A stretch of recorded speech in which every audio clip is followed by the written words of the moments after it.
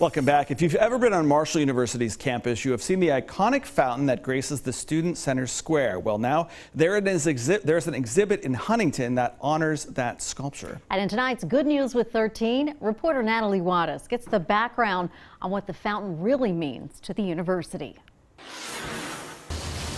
You know, the water flowing it's about life. The sculptor said it's for the living, you know, but remembering those who passed on. This fountain honors the 75 victims of the tragic plane crash involving Marshall University's football team in 1970. Now, the Huntington Museum of Art is hosting an exhibit to commemorate the sculptor himself. It contains early designs, notes, and other works by Harry Bertoia. This is a show we did of uh, Harry Bertoia, who created the Marshall University Memorial Fountain and you know the timing is right because it's the 50th anniversary of the plane crash.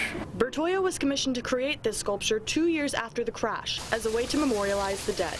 It was a fairly controversial project at the time. A lot of the athletic department staff wanted a football player or a bison to represent the fallen.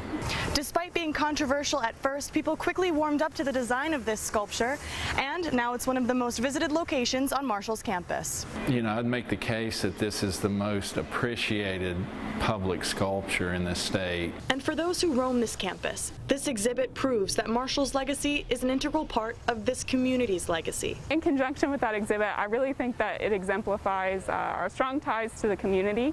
Uh, you know, what, what, Huntington experienced, what Marshall experienced, it was, it was hand in hand. And the Huntington community has consistently lifted up our campus, and we've helped them as well. So that exhibit really demonstrates that bond that we share. A bond immortalized in bronze and on display anew for the public. In Huntington, I'm Natalie Wattis, 13 News, working for you.